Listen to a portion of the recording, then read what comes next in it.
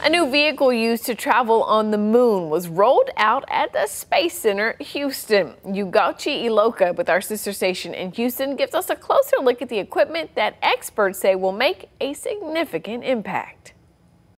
This is a new lunar terrain vehicle with some Texas razzle dazzle added to present to the crowd of space innovators. No, we're not going to fly seven foot longhorn horns to the moon, but we thought that'd be kind of fun today because this is a Texas rover. In April of this year, NASA awarded Intuitive Machines a contract to complete a lunar terrain vehicle, aka LTV services feasibility assessment. And this is the demo. A lunar terrain vehicle representing a significant milestone as we prepare for the return of humans to the moon. Former astronaut Jack Fischer is now the Senior VP of Production and Operations. I, I used to be an astronaut. I, I fell in love with space uh, right here. Actually, I was across the street looking at the Saturn V when I was six years old. He wants others to tap into their inner science spark too and discover the wonderful world of space. Tomorrow, Space Center Houston celebrates National STEM Day, and they are inviting families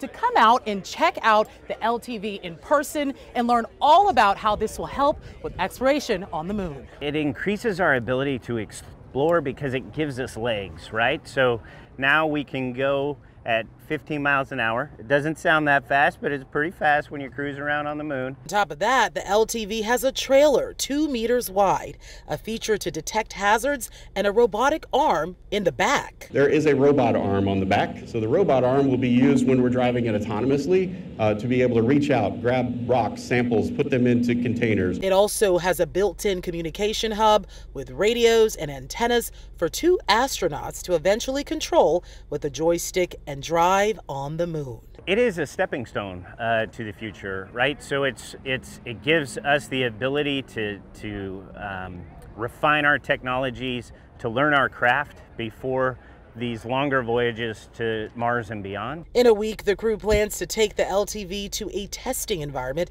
similar to the moon in Arizona.